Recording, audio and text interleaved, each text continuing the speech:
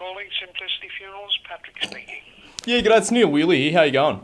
Good, thanks. Look, um, I'm gonna I'm, I'm gonna cut straight to the chase here. Uh, look, Nan's uh, Nan's on the way out. Um, you know, it's not a it's not a great time in anyone's life, but um, we've got to face the facts. Uh, how how long do you reckon uh, it would take you to set up one of your funerals? To set up a funeral, Yeah, from start to finish. What are we talking? When you come and sit with me, it can take an hour and a half. Oh, okay. But yeah, do you mean from when you notify us to when it can take place? Yeah, yeah. How, how what are we talking? What? How long? Uh, wh- where are they likely to die? Uh, look, it- it'll happen in the next week. I'm, I'm hoping. I'm in I'm in Redfern. Yeah. Um, so is that is that good? Redfern good for you? Oh yeah, fine. Any suburb's okay. Okay, yeah. Uh, uh, you actually live at Redfern?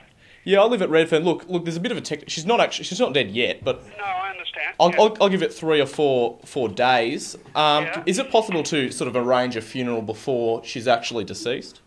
yeah.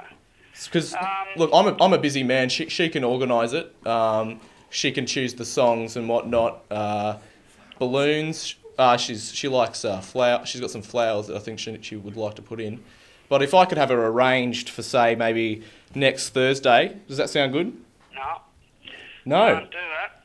Until somebody dies, we can't take the, a notification of a death. We can get some Ah. information done, but I, you know, I, I, I can't book next Thursday. Okay. Well. we Uh, don't know when actually when she's going to die. well, look. Between you and me, it's next Thursday.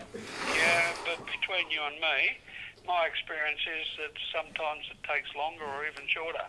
So we Yeah. Yeah. Well, look. I'm, I'm telling you, it's next Thursday.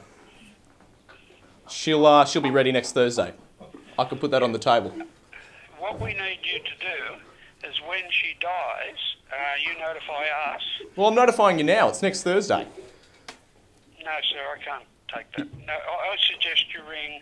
Uh, Do you know any coffin places, mate? Redfern, Uh, uh, funeral directors, whose name I can't think of, but you most probably are aware of them. Righto, righto. You've been a great help. Thank you. Thank you very much.